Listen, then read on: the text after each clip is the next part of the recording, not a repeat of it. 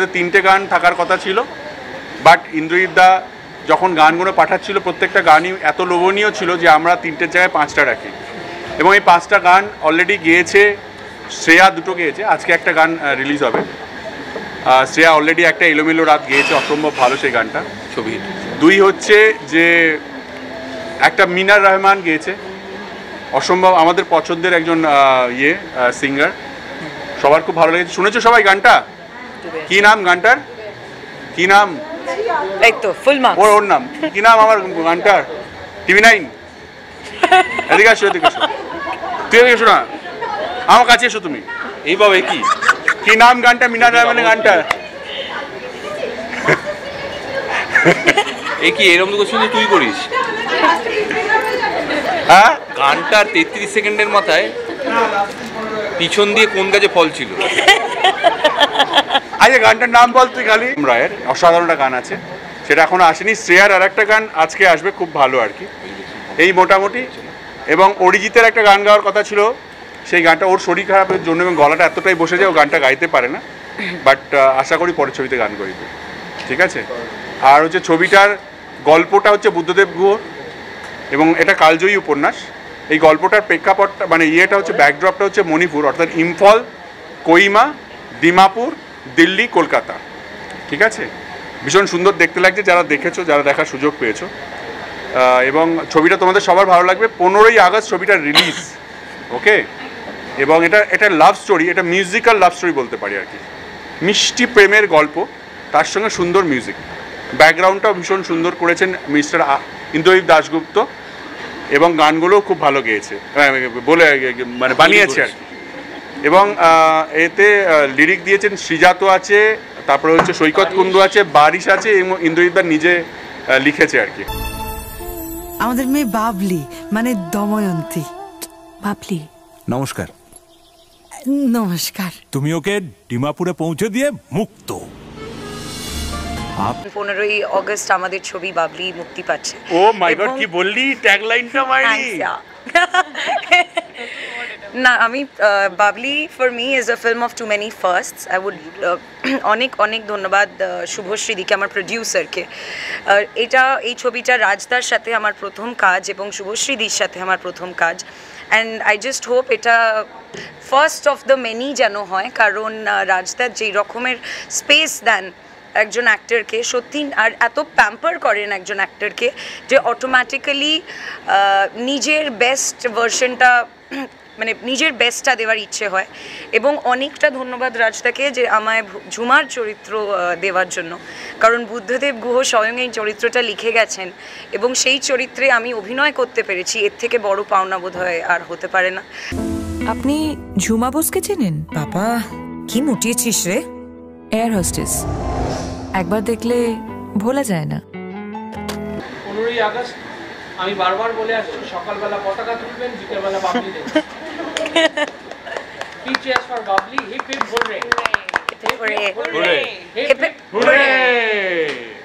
সময় যবে থেকে আমি রাজকে চিনি রাজের মুখ থেকে শুনেছি যে বাবলি হচ্ছে এমন একটা উপন্যাস যে সাবজেক্টটা নিয়ে ও কাজ করতে চায় যে সাবজেক্টটা নিয়ে ও বহু দিন ধরে সিনেমা করতে চায় তাই আহ, আমিও ওর ওই স্বপ্নটার কোথাও যেন পার্ট হয়ে গিয়েছিলাম। আমারও মনে হতো সবসময় যেন ওর ওই স্বপ্নটা পূরণ হয়। যখন আলটিমেটলি দু হাজার কুড়িতে আমরা ডিসাইড করি ছবিটা করব এবং রাইটস নেওয়ার কথা চলছিল বুদ্ধদেব বাবুর সাথে কথা হচ্ছিল এবং যখন উনি রাজি হলেন রাজ ওয়াজ সো এক্সাইটেড এখন আমার ওর- ওই এক্সপ্রেশনটা মনে আছে এবং যেহেতু কোভিড ছিল অ্যান্ড সবারই বাড়ি থেকে বেরোনো মানে অ্যালাউড ছিল না অতটা, তো রাজ একা গেছিল ওনার বাড়িতে এবং রাইটসটা নিতে। উনিও ভীষণ এক্সাইটেড ছিলেন যে এই গল্পটা নিয়ে ফাইনালি একটা সিনেমা বানানো হচ্ছে এবং ডেফিনেটলি রাজ চক্রবর্তী বানাচ্ছেন সেটা নিয়েও ভীষণ এক্সাইটেড ছিলেন এবং উনি তখন নিজেই বলেছিলেন যে আবির আর শুভশ্রী যদি এই চরিত্রটা করে তাহলে খুব ভালো হয়। তো সেই জায়গা থেকে আমার জার্নিটাও শুরু হয় অ্যাজ বাবলি ডিফিকাল্ট ছিল ডেফিনেটলি প্রত্যেকটা চরিত্রে সবসময় আমি চেষ্টা করি যাতে কোথাও কখনোই যেন শুভশ্রীর ছোঁয়া না থাকে বা আমার আগেকার পড়ে আসা চরিত্রের যেন কোনো ছোঁয়া না থাকে। তাই জন্য এক একটা চরিত্র চেষ্টা করি আলাদা করে করার এবং এটা এতটাই বিখ্যাত একটা উপন্যাস প্রত্যেকে যখন পড়ে, অনেকেই এখানে পড়েছে যাদের যাদেরকে প্রশ্ন করছিল রাজ প্রথমে ও পড়েছে ও পড়েছে পড়ে পড়ে আমাকে মেসেজ করেছিল যে এরকম একটা অন্য প্রেমের গল্প তোমরা বানাচ্ছ। খুব এক্সাইটেড তো সেরকমই প্রচুর মানুষ গল্পটা পড়েছে এবং আমরা যখন গল্পের বই পড়ি তখন নিজেদের নিজেদের একটা ইমাজিনেশন থাকে এবং সেই ইমাজিনেশনটাই আমরা দেখতে চাই। তো একটা সাহিত্য নির্ভর গল্প সিনেমা করতে গেলে সেটা একটা খুবই চ্যালেঞ্জিং হয় যে নিজেদের আহ, মানে মতো করে দেখা চরিত্রগুলো আদৌ দেখতে পাচ্ছি কিনা। সেটা রাজ যেভাবে দেখেছে সেটা আমরা পর্দায় দেখতে পাবো। তাই আমি সবাইকে রিকোয়েস্ট করব যারা যারা পড়েছো তারা একটা সিনেমার মতো করে দেখতে যাবে। বাট আমরা পুরোটাই সুখদেব বাবু বাবলিকে কমপ্লিটলি ফলো করেছি কারণ এতটাই সুন্দর এবং নিখুঁত একটা গল্প। এবং যারা যারা পড়োনি তারা তো ডেফিনেটলি একটা নতুনত্ব প্রেমের চমক তোমরা পাবে। এবং আমি বলতে চাই যে পরিণীতার পর রাজের প্রেমের ছবি। আমরা সবাই জানি রাজ প্রেমের গল্প বলতে দারুণ ভালোভাবে পারে মানে প্রেমও ভালো করো। মিটি নাও মিটি নাও কথা বলো। তো বাবলিও ওরকমই একটা সত্যি পণ্য এবং মাখো মাখো প্রেমের গল্প। আমার এটা আশা সকলের ভালো লাগবে কারণ প্রেমের ছবি দেখতে কিন্তু সকলের ভালো লাগে। তো হ্যাঁ তো সবাই সিনেমাটা দেখুক। তোমাদের মাধ্যমে এটাই আর্জি। তোমরা প্লিজ যারা যারা এখনও অবধি আপডেটেড নও আমি জানি তোমরা প্রচণ্ড কাজের মধ্যে ব্যস্ত থাকো। বাট প্লিজ তোমরাও হচ্ছে আমাদের মানে কি বলব প্রত্যেকে তোমরাও কিন্তু এক একজন দর্শক। তোমরা যদি না দেখো তাহলে আমাদের ছবিটাকে তোমরাই পুশ করতে পারবে না। সো তোমরা সিনেমা হলে গিয়ে প্রত্যেকে সিনেমাটা দেখো। ভালো লাগলে তবে গিয়েই কিন্তু ছবিটাকে গেল। প্রমোট করতে পারো। ওরা হলে গিয়ে সিনেমা দেখবে সেটা আবার বলবে বাহ। সো সবার কাছে এটাই রিকোয়েস্ট তোমরা প্রমোট তো করবেই ছবিটাকে সাথে সাথে প্লিজ বাবলি ছবিটা নিজেরাও দেখবে। স্প্লেন্ডেড একটা জায়গায় গাড়িটা খারাপ করলেন না? আপনি কেন শুধু শুধু জেদ করলেন বলুন তো? গাড়ি চালান গাড়ির মন বোঝেন না? গাড়ি ছেড়ে দিন আপনি কোনো কিছুর মন বোঝেন বেশি কিছু বলতে অলরেডি বলে দিয়েছেন আমার প্রডিউসার যে বেশি কিছু বলা যাবে না। তো চরিত্রে অনেকটাই চমক আছে এবং রাজদাকে অনেক অনেক ধন্যবাদ যে এরকম একটা ইন্টারেস্টিং ক্যারেক্টার আমাকে ভাবার জন্য। এবং ক্যারেক্টারটা ঝুমার লুকটাও আমি এর আগে যা যা ছবি করেছি তার থেকে সম্পূর্ণ আলাদা। তাই এইভাবে ভাবতে পারার জন্য আমি খুব খুব অনেক ধন্যবাদ জানাব রাজটাকে এবং হ্যাঁ চমক আছে, আমি বেশি কিছু বলতে পারব না, বকা খাব না। গোয়েন্দা আবির এবং রোমান্টিক আবির। দর্শকরা বলবে আমার মনে হয় হিরো অভিনেতা আবিরকে। একজন অভিনেতা বা অভিনেত্রী জলের মতো হয়। যে পাত্রে ঢালবেন সেই পাত্রের আকার ধারণ করে অভিনেতা অভিনেত্রীরা। সে তাকে কোনো ট্যাগ দেওয়া যায় না। আমরা হচ্ছে সাদা রঙের মতো। যে রং মেশাবে সেই রংটা আচ্ছা গোয়েন্দা হলে সে প্রেমিক হতে পারে না? এইটা কেন? না না ওটাই বলছি প্রেমিক যে গোবিন্দ আমরা আমরা হচ্ছে আমি দুই নায়িকার কথাই ধার নিয়ে বলছি। থ্যাংক ইউ দুজনেই যে দুটো পয়েন্ট বলল শুভ যেটা বলল একদমই ঠিক। একজন অভিনেতা সবসময় চায় সে কোনো ইমেজে যাতে বাধা না পড়ে বিভিন্ন ধরনের চরিত্রে সে অভিনয় করতে পারবে।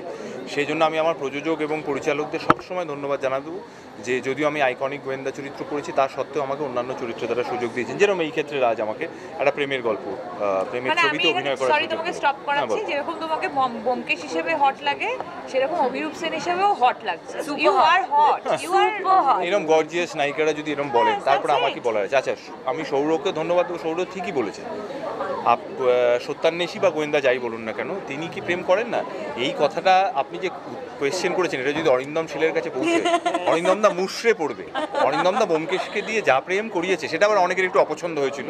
যে উনি সত্যান্বেষণ করছেন না কেন কেন প্রেম করছেন দুটো কন্ট্রাডিক্টরি নয় দুটো একসঙ্গেও করা যায়। সো হ্যাঁ থ্যাঙ্কফুলি যে আমাকে পরিচালক এবং প্রযোজকরা বিভিন্ন ধরনের চরিত্রে অভিনয় করার সুযোগও দিচ্ছে। আর পরিচালক রাজ চক্রবর্তী নিয়ে বলছে মানে করো।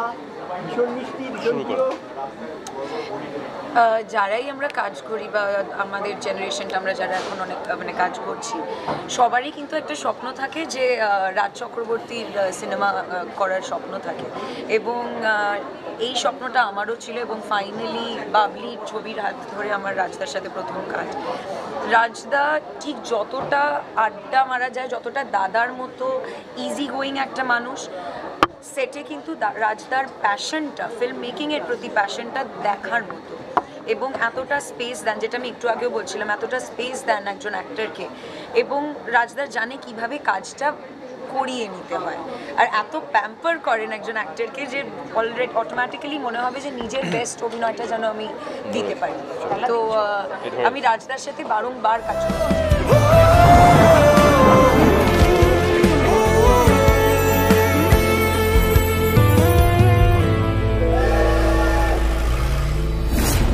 টলিউড ফোকাস কলকাতা চ্যানেলটি আপনাদের ভালো লেগে থাকলে লাইক করুন সাবস্ক্রাইব করুন এবং আপনাদের পছন্দের ভিডিওটি অবশ্যই শেয়ার করুন। Tollywood focus Kolkata